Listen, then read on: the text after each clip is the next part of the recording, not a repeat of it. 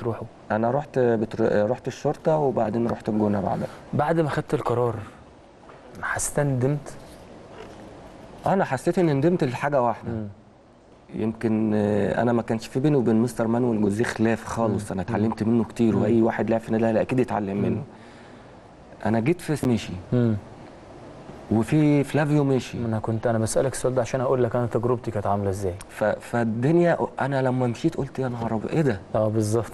إزاي؟ أنا أنا حتى ما كنتش آه. أعرف ولا كان حد عارف إن لا فلافيو هيمشي بالظبط ولا مستر مانويل جوزيه هيمشي يروح السعودية كان جاله تقريبا مم. فرقة في السعودية تقريبا. ف قلت ده كان اللي كان بيلعب هاني العجيزي بقى ده بدا ياخد فرصته لأن هو الوحيد اللي بالظبط، قعد. بالظبط. آه، أسامة مم.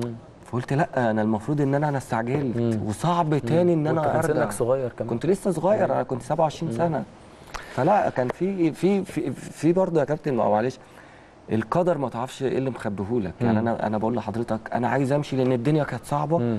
وشايف فلافيو خلاص ما حدش هيشيله من المكان ده. مم. ومستر مانويل جوزيه آه، هو آه، هو اللي بيحط التشكيل وهو اللي مقتنع برقم واحد واثنين وثلاثه مم. فده قدر. أنا ما كنتش عارف إن. بعد الموسم ما يخلص الناس دي هتمشي أو مثلا هتبقى فرصتي كويسة.